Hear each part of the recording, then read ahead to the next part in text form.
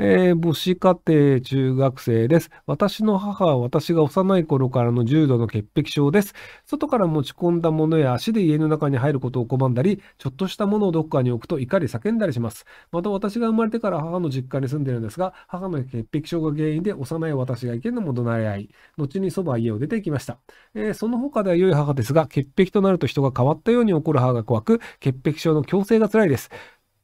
えー、家のことは口止めされていて、周りに相談できません。えー、今後私はどうすればいいですか？えっ、と、中学生で中1だとすると、多分あの、高卒までの6年間我慢するか、もしくは家出ちゃうって言ってありますけどね、もう児童相談所に行ってしまって、あの、一人暮らししたいですっていうと、あの、児童養護施設とかに入れるんですよ。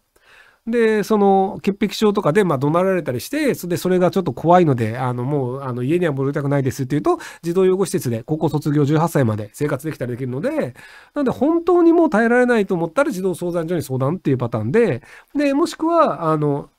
まあ、え、と、頼れる人がいるのであれば、一回一人暮らしを始めてしまって、生活保護っていうパターンもあるんじゃないかなと思いますけど、まあ、もしくはあと6年間、母親のもとで我慢する。